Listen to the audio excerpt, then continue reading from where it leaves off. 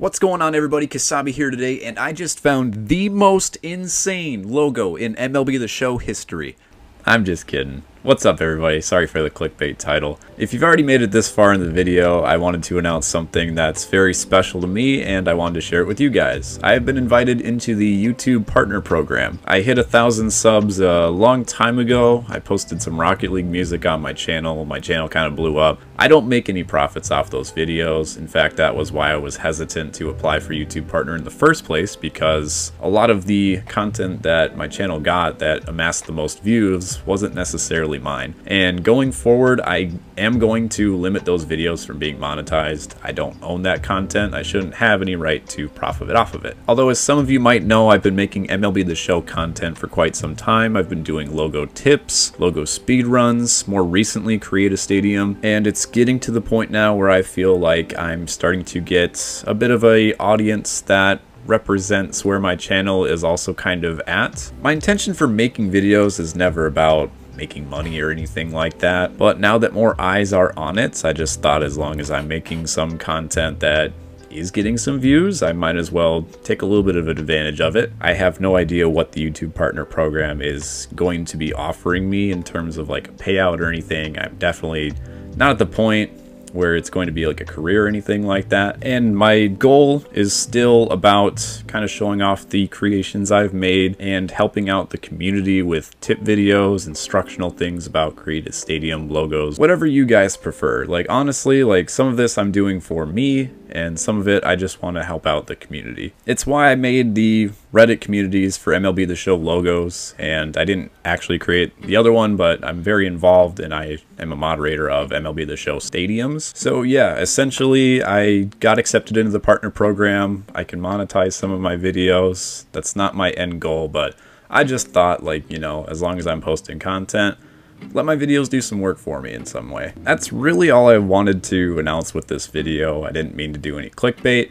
I don't really mean to make this about me or you know, my accomplishments or anything like that. Mostly I just wanted to share with you guys that going forward, if you watch a couple of my tip videos, there might be a couple of ads that might be running on them that's about it. I would very much be okay with taking my channel and kind of using it to promote the community here in the future, if anything. I've been noticing a trend with similar creators like M.Frisk. That guy is just so generous. Like he features a lot of stuff, including my stadiums on his channel. He actively gives out Elgato gear to streamers that he thinks could use a little bit of a bump in quality because their content is so good. And that's where I kind of want to be too. Eventually, I guess. I don't think I'll be handing out technology but in a way, like I just want to kind of grow a community. The MLB The Show community is now twice as large now that Xbox is out. Switch is probably going to be coming soon, and the player base and really the fan base of baseball in general is really growing over these last few years. I started making logos for MLB The Show back in 2014 just for fun. I mean, I was just making logos for Black Ops 2, and then there was something similar in MLB The Show, and I just kept at it. I kept making logos. It got to the point where where I started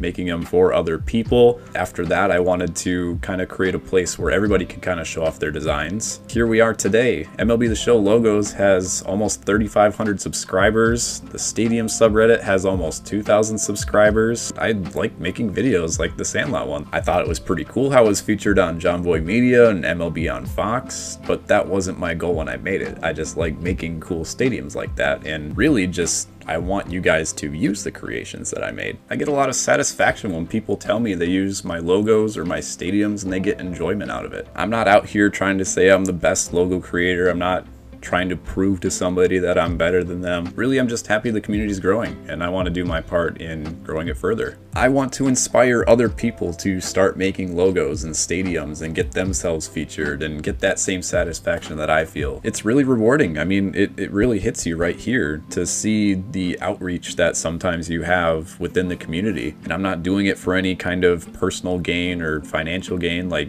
yeah, I do commissions for logos in my spare time because I have to support myself, but I want to be transparent with you guys. And that's why I made this video, just to tell you that I'm a part of the partner program. It's not going to affect any of the quality of my work going forward, but rather it's kind of incentivizing me to keep making content and make it more frequently. So yeah, I thought it'd be funny to make this video as close to 10 minutes and one second as I could. And I'm sorry about the clickbait again, but I want to take the rest of this time to kind of shout out some other creators in the community. Some other creators that I'm starting to have a personal connection to or that I just see in the community and I really think you guys should check out their work. So again, I've already mentioned M. Frisk. Here's the link to his channel and social media pages. He does Road to the Show, franchise, and more recently he's been doing his part in shouting out a ton of people for their created stadiums. If you want to find the latest and greatest stadiums, or if you want to maybe contact him and show off a stadium that you made, this is your guy, this is the avenue to take. I'd be remiss if I didn't shout out Spagoo. As you can kind of see, I have the little setup here with my face and the little rotating thing. He made that for me. He also makes a ton of great logos for MLB The Show and more recently stadiums. In fact, I think Spagoo's probably been one of the most prolific stadium creators to date since the game came out. Check him out on Twitter and Reddit. Over the last couple months, I met this guy who made player faces for MLB The Show. His name is Dr. Sublime. He and one of his friends, Deuce Monkey, they created the player faces for that Sandlot video I made. I think a large part of the reason that video blew up is just because the player likenesses were so good. There's a lot of customization options you can do in MLB The Show. I've been over logos, I've been over stadiums. The one thing that I've never been very good at is player faces. That is just something else completely entirely different and they do some amazing work. There's also a lot of dedicated people out there who make rosters for AAA, AA, basically the entire minor league rosters. There's some people that go back and create old rosters from historical point in time. I also want to shout out though Bacon who makes the fictional rosters for MLB The Show. Some of the rosters got lost since we went to next gen and they don't have year-to-year -year saves, but Bacon's doing it all over again. He has an entire roster of fictional players that don't exist. He does all of their names, likenesses,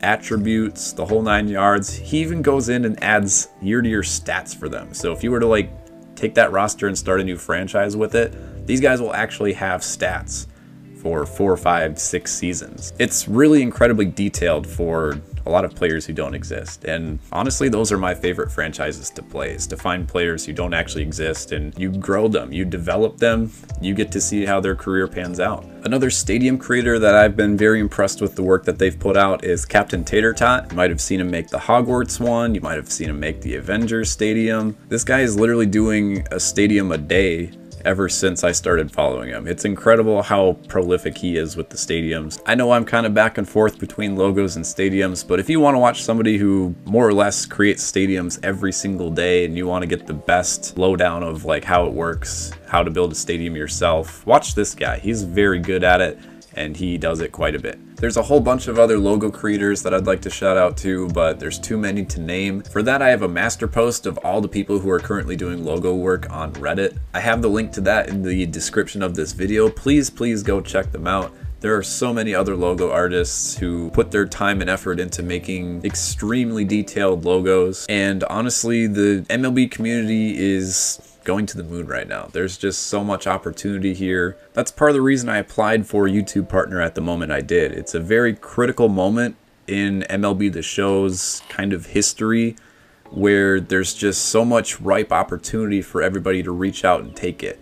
And it's forcing me to make more content. And like I said, there's plenty of people out there who are already on the doorstep of making a name for themselves. I also want to inspire new people to be that next content creator. I want to give them the tools to set them up for success to be a logo artist or a stadium creator. And yes, eventually I do want to dive into franchise and maybe get something like that going too. Franchise is something that I've been playing for decades. It's the most interesting mode for me ever since I was a kid. So yeah, that's where we're at as a channel. But just going forward, again, probably see a couple ads here or there for my content. Nothing to worry about. I am committed to being as educational as I can for the community and trying to, as best as I can, kind of describe how I build things. Logos, stadiums. I, I want to be as transparent as possible with everybody. So if you stuck through the entire video, I very much appreciate it. You might still see my face and a couple other things in the thumbnails. I promise you it's not meant to be clickbait going forward. I just don't like my thumbnails being boring, like one of the pre-generated ones that the video automatically does for you. As always, if there's anything that you'd like to see out of me, some stadiums that you want me to create, some logos you want me to create, even video ideas, let me know in the comments section what you would like to see. In the meantime, I'll be starting to crank out some more informational videos, stadiums, logos, you name it. Thanks again for watching. This is Kasabe signing off. We'll see you in the next video.